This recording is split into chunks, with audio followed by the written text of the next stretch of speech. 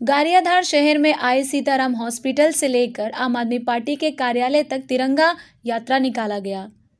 गारियाधार में आम आदमी पार्टी के नेता सुधीर वघाणी के अध्यक्षता में आज शहर के अलग अलग स्थानों पर तिरंगा यात्रा का आयोजन किया गया था। आम आदमी पार्टी की पंजाब में भव्य जीत की खुशी आज आम आदमी पार्टी गुजरात के गारियाधार तालुका में तिरंगा यात्रा निकालकर मना रही है। गारियाधार के आँगन में अर्थात कि आम आदमी पार्टी के कार्यालय में तिरंगा यात्रा का आयोजन बहुत ही धूमधाम और उत्साहपूर्वक मनाया गया। शहर के प्रमुख भावेश कथरिया, तालुका के प्रमुख बाबू Babubhai D L Khuta Madhui Madia Z P Kheni और बड़ी संख्या में आम आदमी पार्टी के कार्यकर्ता और पदाधिकारी उपस्थित थे।